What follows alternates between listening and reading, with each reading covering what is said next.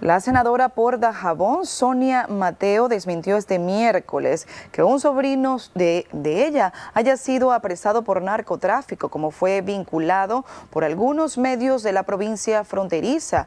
La legisladora dijo que la intención fue perjudicarla a ella y a su familia. Asimismo informó que sus abogados toman cartas en el asunto.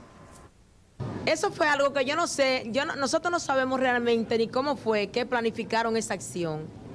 Y yo le digo a ustedes que ustedes mismos pueden investigar. Pueden investigar todas esas situaciones. Cuando yo salí de ahí, que yo vi esas redes, a mí hasta un mareo me dio. Y cuando llamé a Dajabón, el muchacho trabajando en una oficina que es agrónomo, ¿Tú entiendes? Entonces yo no sé realmente, pero sí ustedes pueden investigar todo. Ahora nosotros no tenemos más nada que decir, sino que ya nuestros abogados están apoderados del caso.